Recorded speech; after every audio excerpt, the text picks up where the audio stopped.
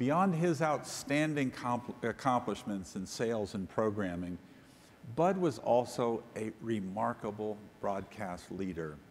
He was a tenacious advocate for over the air radio and television.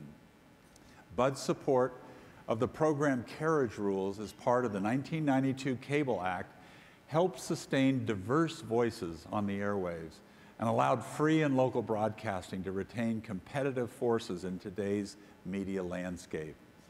Bud was simply a true giant of broadcasting. And ladies and gentlemen, uh, welcome to Las Vegas. Uh, we're thrilled to have you here again.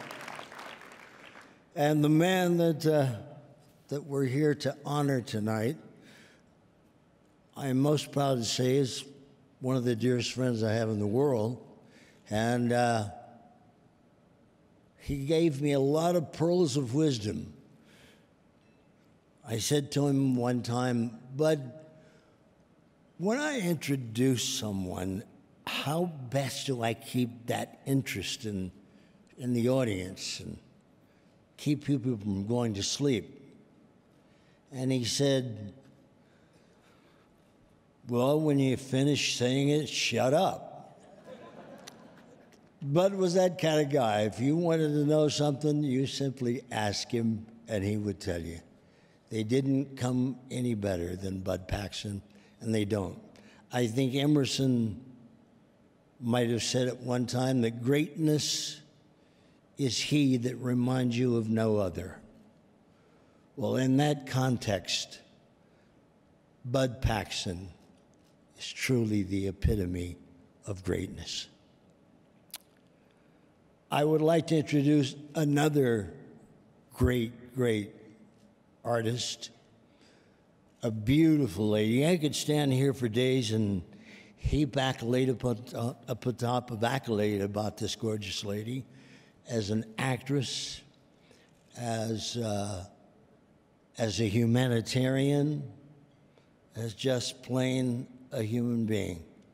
All I have to say is her name, and you'll know who that is. Would you welcome along with me, ladies and gentlemen, Miss Sharon Stone?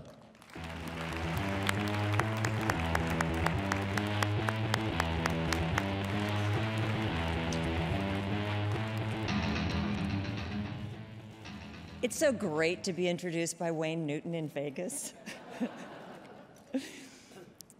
um, you know, if you, if you ask Bud, and I had the extraordinary pleasure to ask Bud many things, but if you ask Bud, what was the key to his success and to the things that he did, he would always say that he went to his God. Bud was a devout, devout Christian. And everything that he did, he talked over with his God. And many people, when they use their religion as, um, as a tent pole, use it to not do things.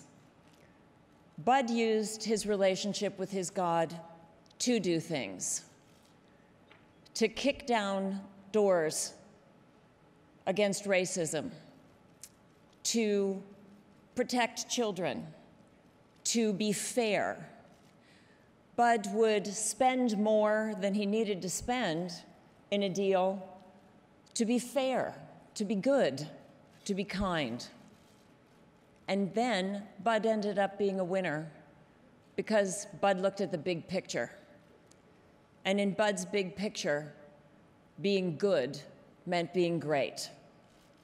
Bud was a great man, a pillar of the community.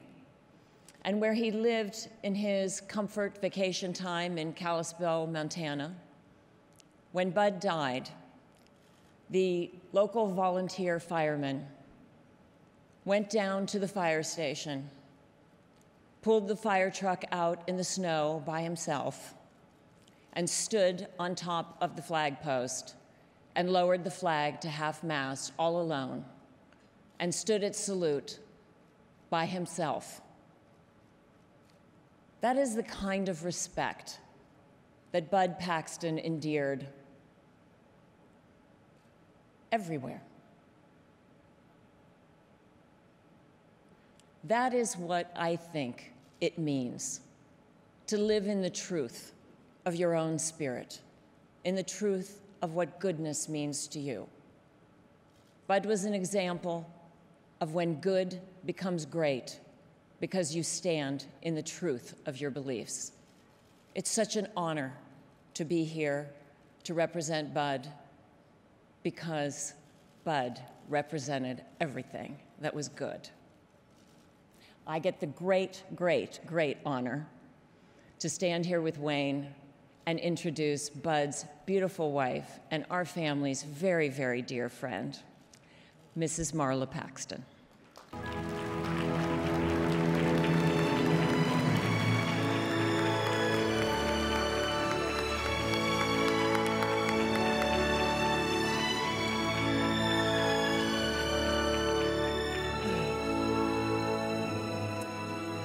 It is such an honor to be here today on behalf of the Paxson family, who are all here, and all of our friends that have flown in to be here and support me. Thank you so much. I have to give a special thank you to Wayne Newton, who just had his knee done, what, four days ago? What a, that's a great friend. And for Sharon to take time off of filming means so much to me, you guys. Thank you. I want to thank the NAB for this amazing award. Bud was the biggest advocate for broadcasters, and uh, I want to think that I was the love of his life, but I think it was broadcasting. Um, it was also a special time for us because his birthday always fell during the NAB convention. So um, we had some fun parties, Dean Goodman. Um, and uh, so it was a very, very special time for us, and uh, he would be so honored over this. And I'm so proud to be here to get it. Thank you.